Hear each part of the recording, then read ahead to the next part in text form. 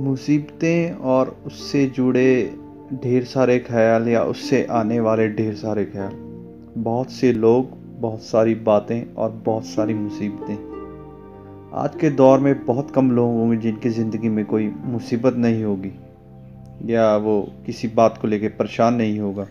कभी ध्यान से सोचोगे तो पता चलेगा कि इतना हम मुसीबत से परेशान नहीं होते जितना उससे जुड़े ख्यालतों से हो जाते हैं।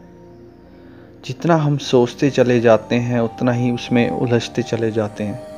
दुविधा का दूसरा नाम है ओवर थिंकिंग ऐसा नहीं है, सभी ऐसा करते हैं, पर जो भी लोग इसके शिकार हैं, सच मानो इसका कोई तोड़ नहीं है।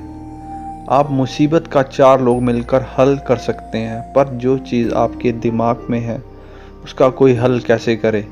वो कहते हैं ना, खाली दिमाग शैतान का घर, बस यही है वो शैतान। मान लो आपकी किसी के साथ कहा सुनी हो जाती है। गुस्से में आप कुछ भी बोल आते हैं। फिर जब गुस्सा शांत हो जाता है, आप सोचते हैं कि ये मैंने क्या कर दिया। अब क्या होगा?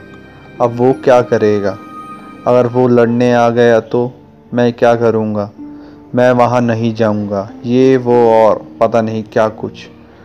अपने साथ आप दूसरों का भी दिमाग ख़राब कर देते हैं। और फिर जब आपका उस इंसान से आमना सामना होता है और वो आपको इग्नोर कर आगे बढ़ जाता है और आप सोचते हैं कि मैं इतना कुछ सोच कर बैठा था और उसने तो कोई प्रतिक्रिया भी नहीं दी।